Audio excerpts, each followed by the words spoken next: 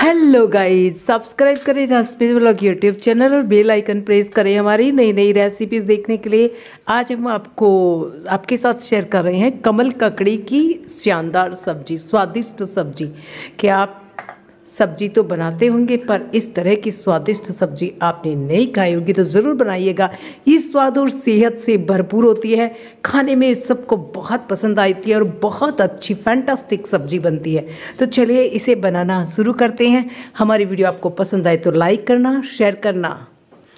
इसके लिए देखिए, मैंने लिया ये कमल ककड़ी, इसको लोटस भी बोलते हैं, और और कश्मीर में इसको नदरू यखनी भी बोलते हैं। तो कुछ भी नाम से आप इसको बुला सकते हैं। वैसे ये यहाँ पे हमारे यहाँ कमल ककड़ी के नाम से फ़ेमस है और बहुत अच्छी सब्ज़ी इसकी बनती है और सेहत से भरपूर है। तो मैंने इसको छील करके इस तरह से इसको तोड़ लिया है। अब इसके बाद में हम सबसे पहले इसको बॉईल करेंगे। तो एक मैंने पतीले के अंदर थोड़ा पानी डाल दिया है और इसके अंदर थोड़ा सा नमक डाल देंगे।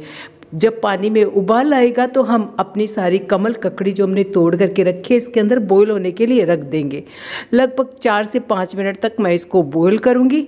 नमक के साथ बॉईल करने से इसके अंदर जो होल्स के अंदर कोई होता है, वो भी निकल जाता है और ये बहुत ही सॉफ्ट भी हो जाती है और टेस्टी भी बनती है। तो आप ज़रूर इसको इस तरह से बॉईल करके बनाइएगा, बहुत ही अच्छी बनती है। तो पाँच मिनट तक मैंने इसको बॉईल कर लिया था, उसके बाद में पाँच मिनट रेस्ट दिया और फिर इसको इस तरह से निकाल लिया है। अब हमारी कमल ककड़ी बॉईल होकर के तैयार हो गई है तो चलिए मसाला तैयार करते हैं। मसाले के लिए देखिए, मैंने गैस पे कुकर टिका दिया और इसके अंदर मैं एक बड़ा चम्मच तेल डाल देती हूँ। जैसे ही तेल थोड़ा गर्म हो जाएगा, हम इसके अंदर जीरा तड़का लेंगे।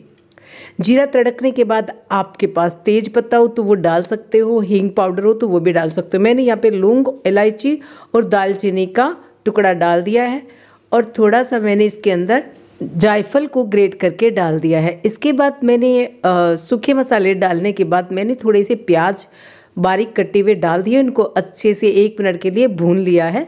अब मैं इसके अंदर अदरक और लहसुन का पेस्ट डाल देती हूँ, जो कि मैंने कद्दूकस करके, यानी ग्रेट करके रखा हुआ है। तो ये अदरक और लहसुन का पेस्ट भी अच्छे से फ्राई कर लेंगे। एक मिनट के लिए जब ये अच्छे से फ्राई हो जाएँगे तो हम इसके अंदर मसाला डाल देंगे। हल्दी पाउडर, लाल मिर्च का पाउडर दोनों को अच्छे से फ्राई करने के बाद आप बारीक कटे हुए टमाटर डाल दीजिए। तो मैं यहाँ पे एक बड़ा टमाटर लिया था मैंने, इसको बारीक बारीक काट लिया। अब इसको ऑयल में ही पकने देंगे। ध्यान रखना, अभी तक आपको पानी बिल्कुल भी नहीं डालना है। इसको ऑयल में ही, बिल्कुल सिम गैस पे आपको पकाना है। तीन से चार मिनट पकाने के बाद में देखिए अच्छा सा मसाला तैयार हो चुका और खुशबू भी बहुत बेहतरीन आ रही है। अभी हमने नमक का इस्तेमाल नहीं किया, आप देख सकते हो। आपको पता होगा, नमक और धनिया पाउडर अभी हमने नहीं डालना है। चाहे गरम मसाला डाल सकते हो, पर यहाँ पे ज़रूरत बिल्कुल नहीं होगी, क्योंकि लौंग इलायची और दालचीनी का जो मिश्रण का जो खुशबू आ रहा ना, वो अलग ही है। इसकी महक कुछ अलग ही है।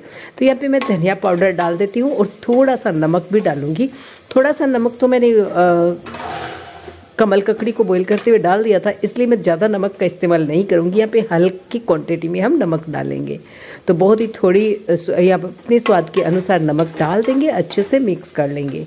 अब हमने जो बॉईल की हुई कमल ककड़ी है वो ही इसके अंदर डाल देंगे। और तेल में ही एक से दो मिनट तक अच्छे से चलाते हुए पकाएँगे, क्योंकि अब तेल के अंदर इसके अंदर जो पानी था, जो नमी थी ना, वो हट जानी चाहिए और इसका खुद का टेस्ट करना चाहिए। तो इसलिए आपको अब भी बिल्कुल पानी नहीं डालना है। एक से दो मिनट तक इसको अच्छे से पकाना है और इसके बाद में हम इसके अंदर डालेंगे धनिया। तो बारीक कटा हुआ हरा धनिया डाल दीजिए। इसको भी एक मिनट के लिए आप अच्छे से पकाइए, कुक होने दीजिए।